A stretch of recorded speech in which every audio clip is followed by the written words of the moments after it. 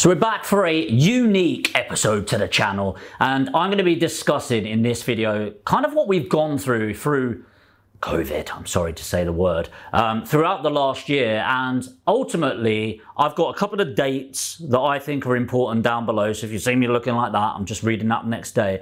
And I'm just going to try and remember what it was like and how it's impacted. And we'll, we'll do this sort of storyline of how this has impacted the property investment market and what opportunities it provides for us right now and moving forward in 2021. So I'm not going to do the usual. If you're interested in subscribing and finding out more, obviously subscribe and hopefully you're going to get a lot of value and hopefully it's just going to be like a bit of an insight in how my brain works towards this situation. So let me take you back to November 17th, 2019.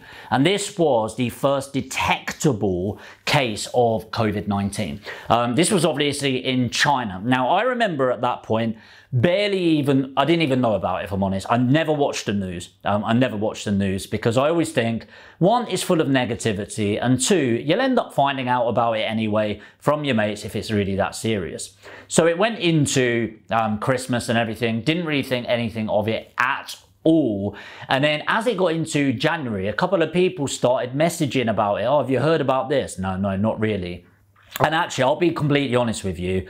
Um, I was one of the people that sort of made a little Facebook joke about it, like, can you believe these people were going around saying this, this is what a joke, or something like that. It basically an ill-informed post being a bit of a knob. Um, well, in hindsight anyway. And I remember in February 2020, I was in Tenerife at the time. I was in a, on a summit, and the hotel that I was doing the summit at, when I flew away and I was in London the next week at an event, and in, in the hotel that we're staying at, Tenerife had its first COVID case in that hotel. It'd be like, okay. Again, didn't really think of it. This was towards the end of February and I was on a London business event. I was actually hosting the weekend and it was a really weird atmosphere. So as people were walking in this event, normally you shake hands and things like that. Hi, I'm Jamie. And you'd have people coming in and going like that with their elbows. I was like, what the what's going on here, right? So I'm thinking, okay, a few people refused and shake my hand. I'm like, is there something on me? And um, it turns out that that's when people started taking it a lot more seriously. And it really dramatically developed from that date. So much so that actually, this was the end of February. By the end of March, a third of humanity was in lockdown. Within one month, a third of the world was in lockdown and now we were listening. Now, the thing is, what lockdown meant then compared to now is dramatically different. Lockdown was you are locked down. There were already very unique circumstances of why people could work, how they could do it. But one of the big things, and for the property market, is estate agents were shut down and construction companies were largely shut down as well for a duration. The world went on pause we went into panic. Our investors went into panic. The vendors went into panic. And I've not seen anything like this ever since I've been in property. Um, and it sounds like what it was like in the last crash. And it become a bit of a free for all. Investors started getting nervous. And I remember at that point, we were putting in offers 30% below market value. And I'll be completely honest, we had investors umming and ahhing whether they should take on these deals because nobody knew how far it was going to fall. And ultimately, nobody should be trying to catch a falling knife with any investment they were making. So towards the end of May, coming into June, we come out of this first wave, if you like, or first lockdown to test this. And this is what I call the Black Friday effect if you imagine Black Friday in America, you see these scenes of the, the shops being closed, it all sort of tied up, and people outside like, come on, come on, come on. And then they open the doors and it's boom, going in there buying as much as possible. And it's actually very similar with um, what we experience through property in the UK. So, you know, estate agents were closed, and bear in mind, 95% of the market is represented through estate agents, and suddenly they were open for business. So you had all these people that were looking to sell their property, all of these people looking to buy the property, and they could do nothing with it. I mean, to the point where people just were on furlough. Okay, so I was to, I was trying to call agents, trying to get deals, and nobody was bloody working. And so suddenly this market was open, and it created created this absolute frenzy. And so within the first three months of that opening up, it pretty much made up for all of the lack of sales in the last four months before. and there were more sales in that quarter, um, and it, it, it, it reached record highs worth of sales for the last decade or couple of decades because of this effect.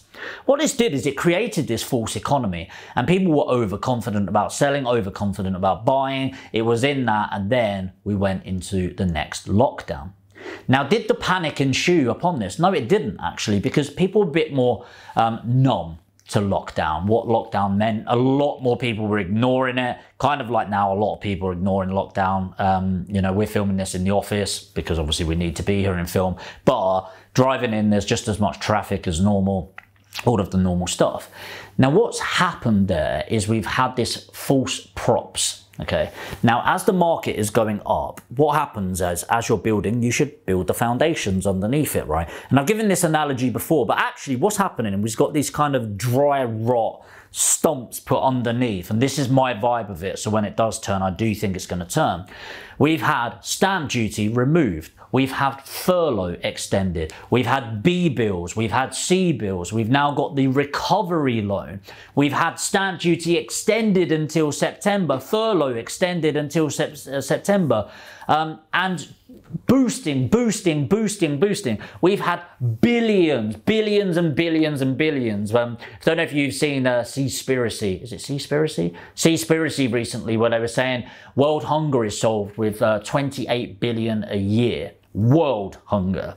We spent about 400 now billion on the recovery of this just in the UK. Okay, so it gives you an idea of the size of how much money has been pumped into this. Now, here's the issue. What this is, what it's done for the market right now is propped it up. And you can see that as great or not, but actually the highest risk is when it's at the height of a market, okay? Because it could crash and turn at any point.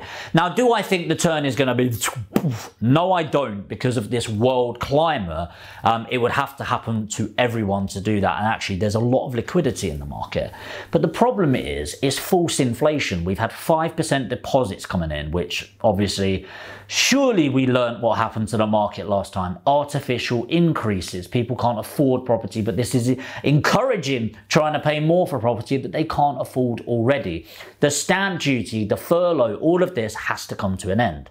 So what I think we're going to see is this stimulus eventually does need to wane off. The problem with this is it kind of all happens at once. September. There's no more government stimulus at the moment furlough comes to an end. The loans come to an end. We have to start paying back the loans that we had from last year.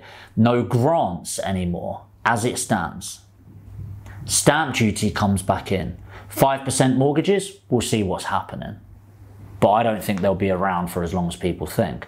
Now, the problem is if everyone knows that the doors are closing and it's pretty public, what does that mean? Everyone's trying to get in. So I think what we're going to be seeing up until August, September is buying, buying, buying, completion rates going up, up, up, the sale price is going ridiculous. And I think it comes to September, if at least one or two of those isn't extended, it will be like this. You get to the end of it and the cliff is hit and it will drop.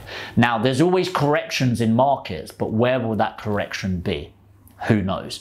Now, I think the government's job right now is to continue to give this support because yes, the grants, yes, opening up, but I think it's all about building trust right now. We're about to come out of lockdown 57 or whatever it is. And what we need is something that is consistent. I think if we end up needing to go back into lockdown, maybe the vaccines haven't been as appropriate um, for what we thought and solved the issues that we thought it would solve.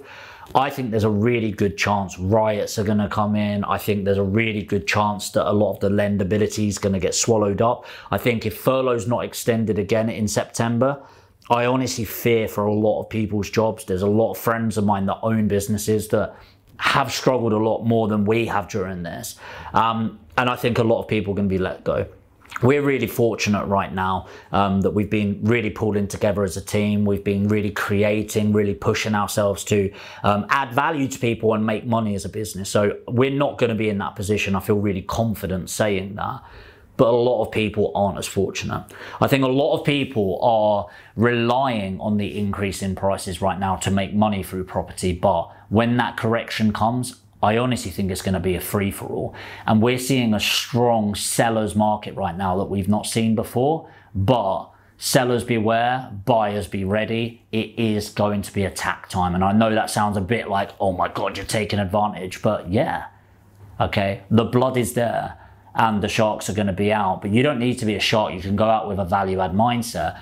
But I'm telling you, 2022 coming into that is going to be a buying frenzy, or I should say, a buying opportunity frenzy, because the market's going to be a bit colder. And I honestly think we're going to see a massive discount coming in where you're going to be able to pick up some phenomenal deals if the market doesn't stimulate, the government doesn't stimulate the market more. Now, there's pros and cons of this, by the way. As entrepreneurs, you kind of want chaos in the market because chaos creates opportunity. But for the UK economy, it really is going to be a bit of a nightmare the next decade. But what I'm hoping for is that this track that the government's been doing with the stimulus, with the rollout, with the vaccines, and that is actually the, the, the correction's inevitable. But I'm hoping the correction will be more like 10, 15% rather than 30, 40% that some pundits are predicting. So who really knows? Look, this is just one man's opinion, okay? This is what I think will happen. And a lot of the predictions are really unknown because Nobody knows what's going to happen tomorrow with the government coming out with these new guidelines, with the vaccines and the effectiveness, the new strains that are coming in, the rest of Europe. What I do know right now is we need to stick together. We need to pull in. And, you know, when this staycation comes in, when you can go up, you know, buy local, support your local economy and really push that forward because ultimately, yes, this is a property channel. Yes, this is about making money, but I know I'm going to make a lot more money in my life in the long term if the country I'm in is stable.